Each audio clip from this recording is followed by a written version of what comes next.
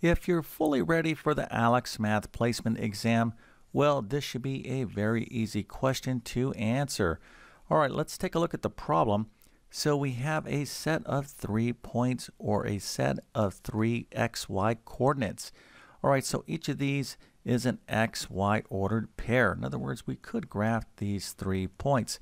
But the question, in fact, is, is this a function? All right, so does this set of ordered pairs represent a function. All right, so this is a big topic in algebra and mathematics, and there's different ways to answer this. But I think the easiest way to answer this is to take a look at a mapping diagram. So this is how this works. We're going to put our x's right here and our y's right here.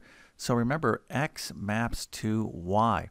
So when we're looking at an ordered pair, an xy ordered pair, the x variable is the independent variable. This represents the domain of a function and the y variable represents the dependent variable and this represents the range.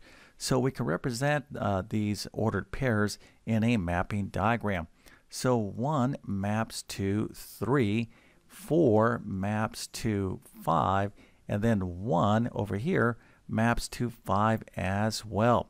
Okay, so one great way to uh, look at potential functions or relations in mathematics and to see if these relations are in fact functions is the following. Okay, so when we're looking at a mapping diagram, what we want to look to see is if each x maps to one and only one y. So 1 maps to only 3, 4 maps to only 5, but 1 is also mapping to 5. Now you might be saying to yourself, is this a problem? Well, no, this is not a problem because this one is mapping to 5. We would not actually write this mapping diagram in this manner. Okay, so that's what I meant to say. So 1 maps to 3, but 1 is also mapping to 5. So the way this will look like in this mapping diagram is 1 is going to 3 and 1 is also going to 5.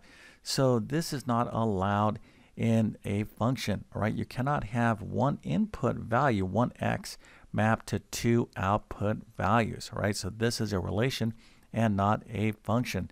Okay, so if you need additional help for the math that you'll see on the ALEKS Math Placement exam, check out the link in the description and the comment section.